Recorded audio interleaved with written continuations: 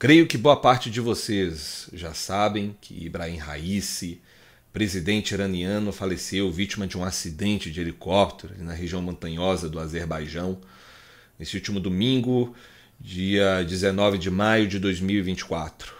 Ibrahim Raisi era um, um homem forte em seu país, o segundo em poder, né, cotado inclusive para ser o sucessor no poder supremo iraniano, um homem ultraconservador dentro de sua religião, radical, né, da tradição xiita no islamismo, um homem que foi opressor com seus opositores, opressor com as mulheres, né, matava sem dó, né, participou de tribunais, alguns tribunais inclusive secretos, que foi ele foi um dos protagonistas da morte de centenas e centenas de pessoas.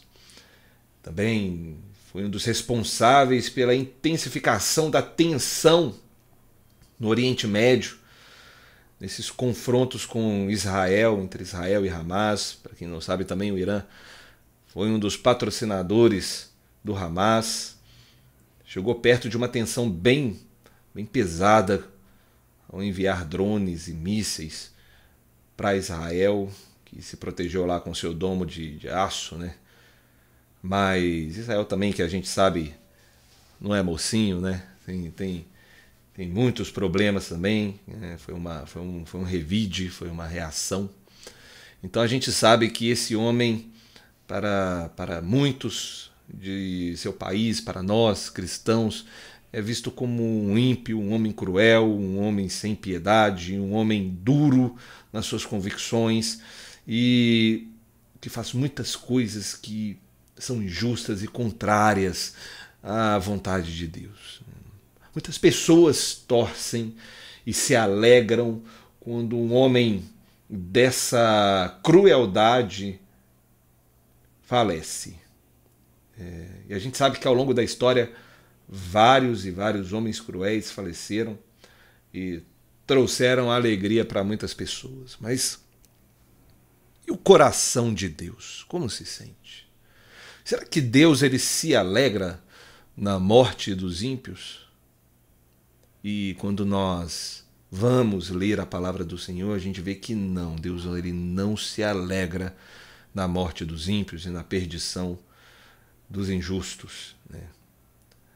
Isso faz parte da justiça de Deus, faz parte da ação de Deus é, ao longo da história.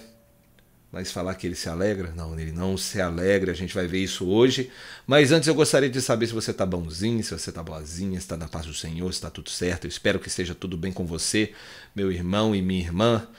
É, seja muito bem-vindo ao canal do Projeto Celeiro, nesse quadro que é bem legal, devocional e jornal, muito legal a gente poder comentar alguns fatos que acontecem ao redor do mundo, no nosso país, na nossa cidade, enfim, e extrair algum princípio bíblico a respeito disso para o nosso devocional, para a nossa meditação, para a nossa reflexão. Então, se você gostou dessa ideia, deixa aí o seu like, se inscreva nos canais, no canal, na verdade, ative a notificação, as notificações, eu troquei tudo. Se inscreva no canal e ative as notificações Compartilhe esse vídeo com mais pessoas e vamos refletir a respeito desses assuntos que têm acontecido nos últimos tempos. Como eu disse, o Senhor, ele não se alegra, ele não tem prazer na morte de um ímpio. Ainda que ele seja cruel, né? Mas nós, ao lermos a Bíblia, principalmente ali o livro de Gênesis, a gente percebe que é, às vezes essas intervenções do Senhor são necessárias. É, a gente entende que todo o acontecimento, tudo o que acontece, faz parte dos planos de Deus, a gente que é cristão. E não é diferente nesse caso. É, pelo que eu li nos noticiários, até hoje, né, no caso, esse acidente foi causado por uma situação climática, tava, o tempo estava ruim, muito nublado, muita neblina. O helicóptero também não era bom, já, já dizem que os equipamentos, os veículos iranianos não estão em bom estado. devido a várias sanções que eles sofreram ao longo do tempo. Enfim, acaba culminando em acidentes como esse e na morte de pessoas importantes. Não apenas o presidente, mas também é, me parece que o ministro de Relações Exteriores também é, faleceu nesse acidente. E nós podemos ler aqui na palavra de Deus, eu busquei um versículo que está lá em Ezequiel, no capítulo 33, eu vou ler aqui para vocês, que diz o seguinte: Ezequiel, capítulo 33, verso 11. Dize-lhes: Vivo eu, diz o Senhor, não tenho prazer na morte do ímpio, mas que o ímpio se converta do seu caminho e viva. Olha só que interessante. No caso aqui, nesse contexto, Deus está falando através do profeta Ezequiel para a nação de Israel, muitos ímpios, muitas pessoas, muita idolatria, muito problema, muita injustiça que a nação estava passando naquele momento. E vítimas de, de, de correções também. E Deus não tem prazer nesse tipo de coisa. Deus ele não se alegra. Deus ele prefere que a sua criatura, que os homens, que as pessoas se arrependam dos seus maus caminhos. Claro que, a depender da circunstância, a justiça de Deus se aplica. A gente já leu alguns textos que nações clamavam ao Senhor para que ele intervisse. A medida de iniquidade de alguns povos crescia de tal forma que se tornava insustentável a manutenção deles, ou a manutenção de uma pessoa ali, ela tinha que ser tirada daquele meio, tirada daquele povo, eliminada daquela, daquela região para que o seu ciclo de injustiça não perpetuasse, causando morte de mais inocentes, etc, etc, etc.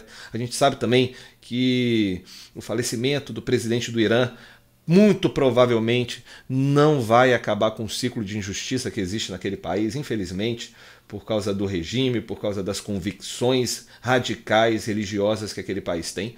Mas o Senhor ele não se alegra e nós como cristãos não devemos nos alegrar também.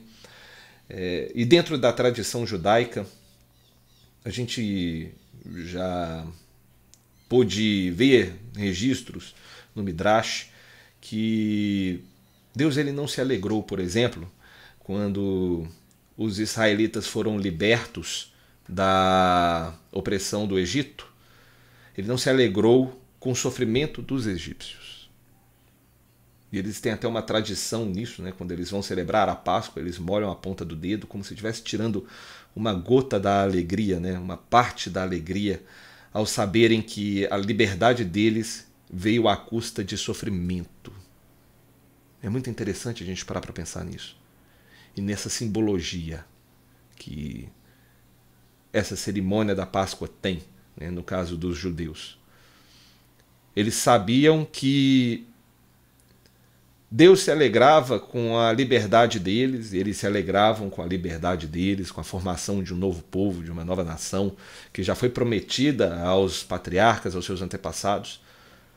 Porém, sabendo que foi por sofrimento, por dor, é, à custa da morte de pessoas inocentes também. É, não existia motivo de se alegrar.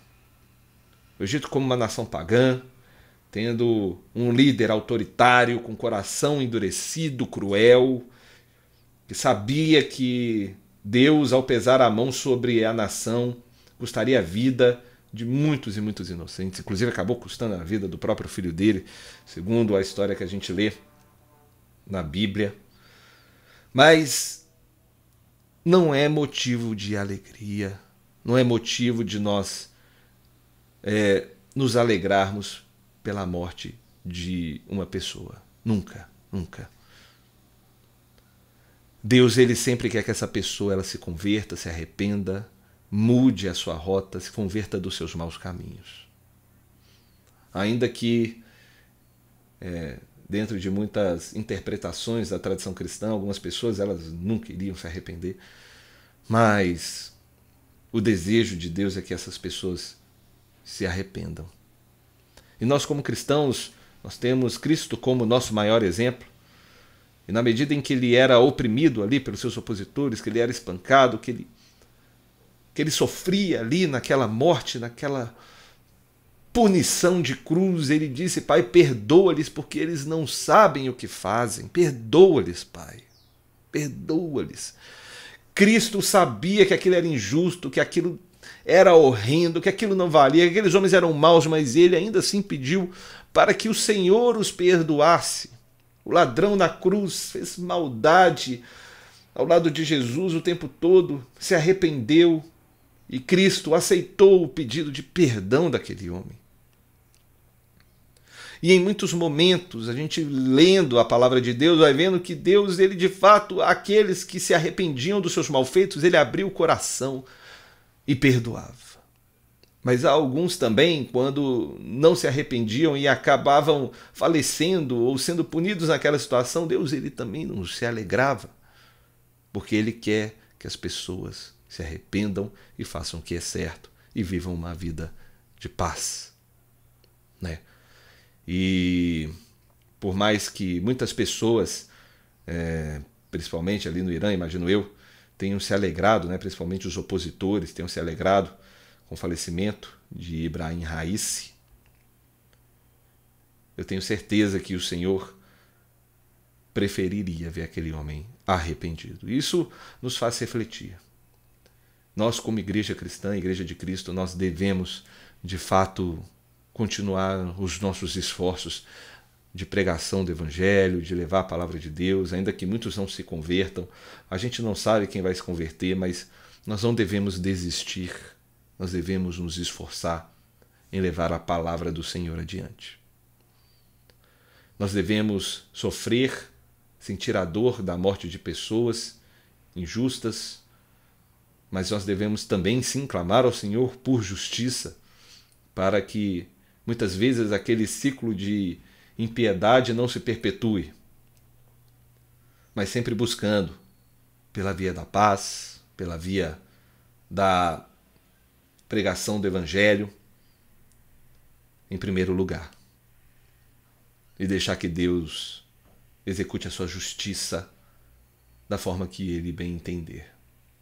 É, nós, como Igreja do Senhor, devemos fazer isso, e ao longo da história da igreja, a gente tem inúmeros relatos de cristãos que foram mortos, que foram perseguidos, que foram torturados e que cantavam louvores ao Senhor. A gente tem registros de pais da igreja que, enquanto eram queimados, enquanto eram massacrados pelo império, pela perseguição impiedosa do império, eles cantavam hinos e louvaram ao Senhor impactando a sociedade. A gente sabe que é assim que o Senhor se alegra.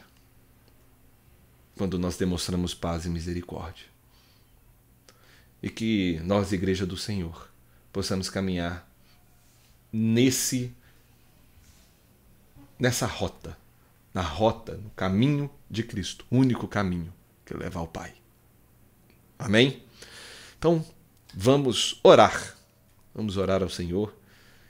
É, foi uma meditação mais breve, mas nós devemos orar ao Senhor por tudo o que Ele tem feito por nós e também para que Ele continue exercendo a sua justiça, mas que nós também possamos sentir a dor daqueles que perdem seus entes queridos, ainda que pessoas injustas, mas que nós possamos entender que muitas vezes a justiça ela vem pela dor pelo sofrimento.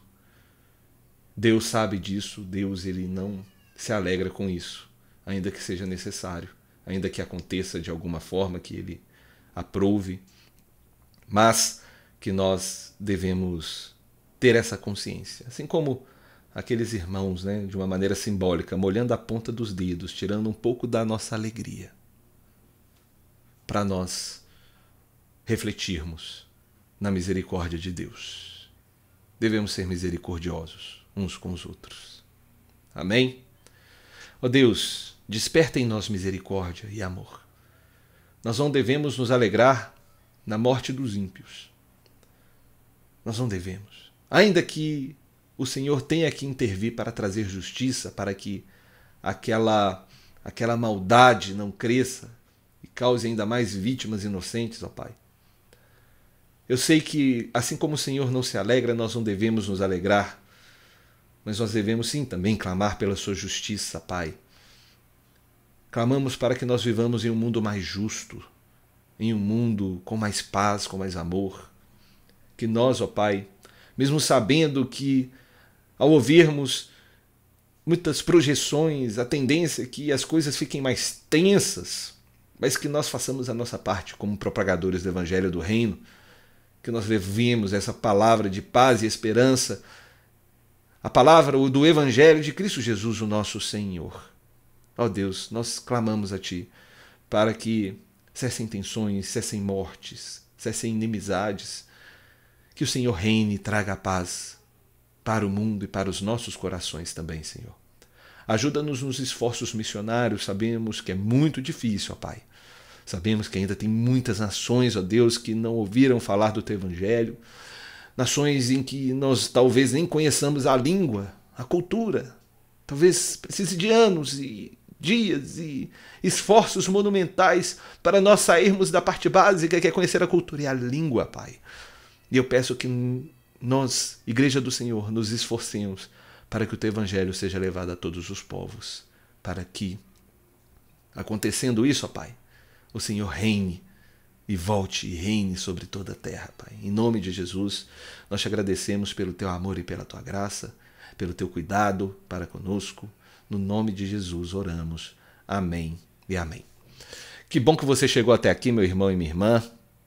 É, fico feliz aí se você chegou até aqui, é porque você gostou do vídeo, então deixa aí o seu like, deixa aí o seu comentário. Se você não se inscreveu no canal, se inscreva também e vamos aí dia a dia conversando sobre a palavra do Senhor. Aquele abraço, a gente se vê em breve. E também, gente, um outro pedido, né? Não, não deixe de seguir-nos nas nossas outras redes sociais. Né? Nós temos ali no Instagram, no TikTok, no Facebook, tudo arroba o Projeto Celeiro. Só procurar lá que você vai encontrar. Tem alguns também Lauer aí aparecendo na sua tela, imagino eu. E que o Senhor te abençoe muito. Até breve.